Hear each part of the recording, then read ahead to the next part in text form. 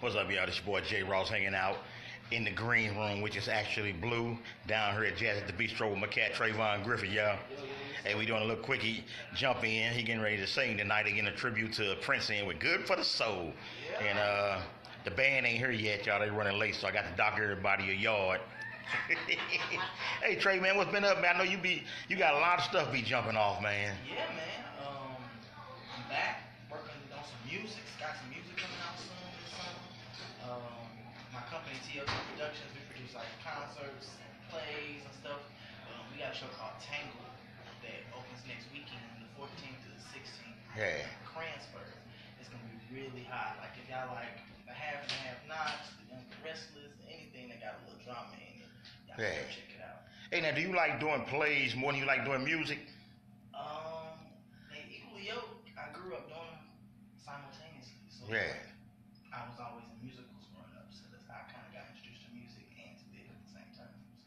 I know last time y'all did that tribute to Prince when you went, up, baby, baby, baby. Yeah, I'm gonna give him something I maybe maybe Hey. At what age did you realize you could sing? Or did your mom and them always, baby, you could sing when you was a little kid? Yeah, it probably was baby you could sing. Yeah. Um, but for real, me probably like five, six. Oh, yeah? Yeah. So you were singing in front of audiences or crowds then? I was singing in front of big audiences by the time I was like six or seven. Straight? So you never was chicken? No, Straight? straight.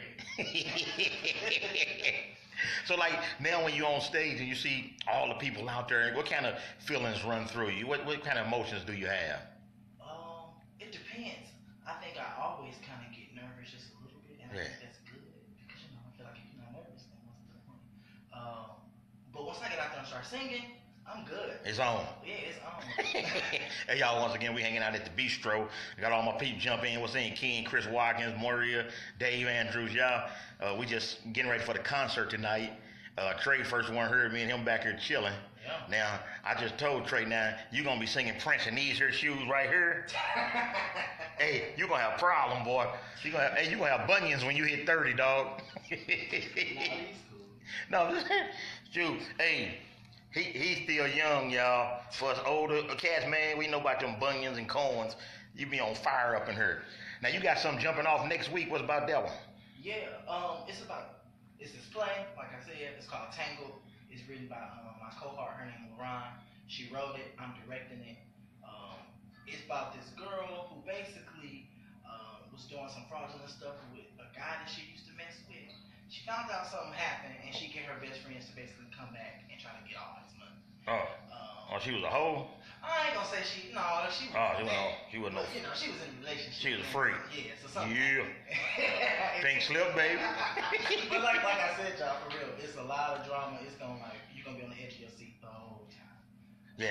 But yeah. Hey, Trey was Trey was also. Let me get this right now. He was the the vocal coach for the Wizard of Oz. Yeah, the And-. Yeah, and he had he had them he had them folks singing. You know, I met Trey some years ago at his concert at the Kranzberg, man, and he been a cool cat ever since, man. Be show J Ross TV love all the time. All the time. Lord J. Ross. Yeah, so we just hanging out right now, man. And uh, for all y'all, I ain't gonna I ain't gonna hold them long. I'm gonna wait till the concert kick off. We will get a little uh, footage for y'all. So this your boy J Ross hanging out at the bistro in the green room, which is actually blue.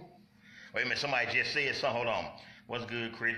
Man, I got Trey in here, and y'all having conversation between y'allself. David Andrews, my dog. J Ross in the house. J Ross always in the house, big dog.